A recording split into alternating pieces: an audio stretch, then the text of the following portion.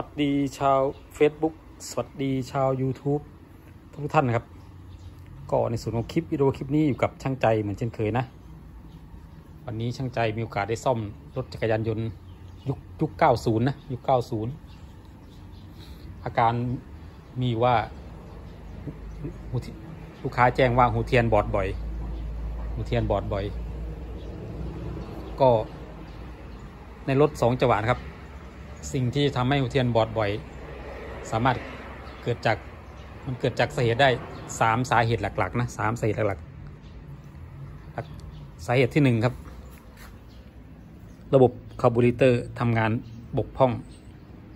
หรือคาร์บูเรเตอร์เสื่อมสาเหตุที่สองซีลซีลข้อเหวี่ยงข้างขวาที่อยู่ด้านในเครื่องเนี่ยรั่วซึม สาเหตุที่สาม การปรับตั้ง ปั๊มออโต้ลุกปรับหนาเกินไป ปรับปรับหนาก็คือว่าเราตั้งสายเร่งตึงเกินไปนะ สายเร่งตึงเกินไป เมื่อเมื่อตึงเกินไปมันการเปิดน้ำมันออโต้ลุกก็จะก็จะมากเกินปริมาณที่เครื่องยนต์ต้องการ มีอยู่สามสาเหตุ เดี๋ยวมาดูว่ารถคันนี้มันจะเกิดจากสาเหตุอะไรนะ รถรถจักรยานยนต์สองจังหวะนะครับรถจักรยานยนต์สองจังหวะ ถ้าเราอยากรู้ว่าซีนข้อเหวี่ยงข้างขวารั่วหรือไม่รั่วเนี่ยมีวิธีเช็ค ง่าย ๆ นะไอข้อเสียของซีนข้อเหวี่ยงข้อเหวี่ยงข้างขวารั่วนี่ก็คือว่าหูเทียนจะบอดบ่อยนะครับหูเทียนจะบอดบ่อย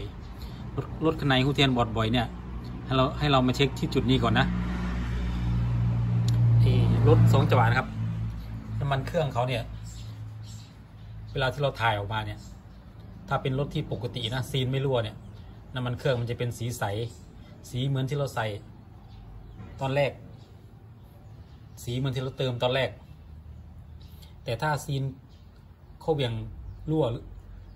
น้ำมันเครื่องจากสีใสๆเนี่ยมันจะกลายเป็นสีดำนะซีนเข้าเบี่ยงที่พูดถึงนี่ก็คือซีนเข้าเบี่ยงข้างขวานะ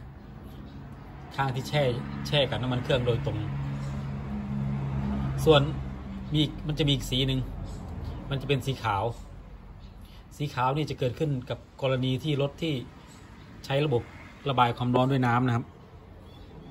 สีขาวนี่หมายถึงว่ามีน้ำเข้าไปในเข้าไปในเครื่องยนต์ อันนี้ไม่ค่อยน่ากลัวเท่าไหร่ แต่ถ้าแต่ถ้าเป็นสีดำนี่น่ากลัวครับ เพราะว่าบางคันบางคันบางเคสเนี่ยต้องถึงขั้นผ่าเครื่องเลยนะ อ่าเดี๋ยวผมผมจะมา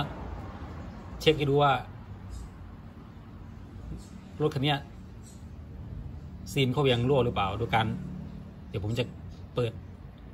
รูรูถ่ายน้ำมันเครื่องออกมาดู เพราะว่ารถคันนี้ลูกค้าแจ้งมาว่าหัวเทียนบอดบ่อยมากครับหัวเทียนบอดบ่อยมากเดี๋ยวขอเวลาไขสักครู่ เดี๋ยวรอดูนะครับผมผมจะถ่ายน้ำมันเครื่องออกให้ดู เราลุ้นไปพร้อมๆกันครับ โอเค ไหลแล้วเอามาเครื่องไหลแล้ว มองเห็นไหมครับ ถ้าไหลมาเป็นสีแบบนี้นะ ฟันธงเลยเลยครับ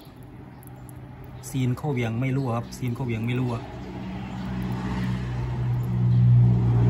โอเคนะ ดูนะ เนี่ยครับนี่เป็นสีของน้ำมันเครื่องรถสองจังหวะที่ดีนะ มันเครื่องไม่รั่วแล้วก็ไม่มีน้ำเข้าไปผสมกับน้ำมันเครื่องด้วย ก็ถือว่าระบบดีครับระบบดี เราเช็คแล้วผลปรากฏว่าซีลข้อเหวี่ยงไม่ได้รั่วนะ ให้เรามาที่เจ้าตัวคาร์บูเรเตอร์คาร์บูเรเตอร์นะคาร์บูเรเตอร์ก็เป็นสาเหตุหนึ่งที่ทำให้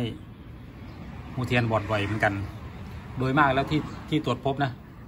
โดยมากแล้วที่ที่ตรวจพบก็คือชอบ ชอบเปิดโชควิ่งครับ ชอบเปิดโชคแล้วก็ ไม่ปิดกันนะครับดึงโชคไว้แบบเนี้ย แล้วก็ไม่ไม่ปิดลง พอไม่ปิดลงก็คือส่วนผสมน้ำมันก็จะเยอะกว่าอากาศรถวิ่งได้เหมือนกันครับวิ่งได้แต่ว่าน้ำมันไม่เข้าไปเยอะเกิน พอมันเข้าไปเยอะเกินมันก็สะสมสะสมในห้องเผาไหม้สะสมไปค้ำค้ำกับเจ้าตัวทางสเตนที่อยู่ในหัวเทียนทำให้ระบบไฟฟ้าวิ่งไม่สะดวก เมื่อระบบไฟฟ้าวิ่งไม่สะดวกก็ทำให้เกิด การติดขัดของการทางเดินไฟฟ้า แล้วก็ทำให้หูเทียนบอด ของคันนี้ผมตรวจพบแล้วครับ ผมตรวจพบว่าลูกค้า เปิดโชคแล้วก็ลืมปิดโชคครับ ก็ใช้ใช้ทั้งแบบนั้นแหละไอ้ข้อดีของการเปิดโชคก็คือว่ามันจะสตาร์ทง่ายครับมันจะทำให้รถเราสตาร์ทง่าย แต่ลูกค้าเปิดเปิดแล้วไม่ยอมปิดครับ มันก็เลยเกิดปัญหาหูเทียนบอดบ่อย โอเค คลิปนี้มาเล่าให้ฟังแค่นี้นะ